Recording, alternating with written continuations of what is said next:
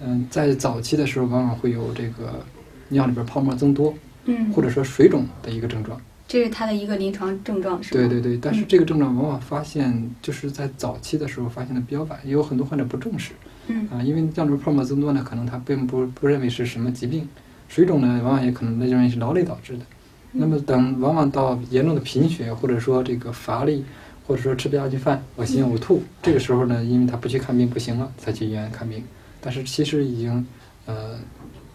错过了非常好的一个治疗时机。嗯那么就对治疗的花费也好，治疗的难度也好，包括患者的这个生活质量也好，带来了很大的一个危害。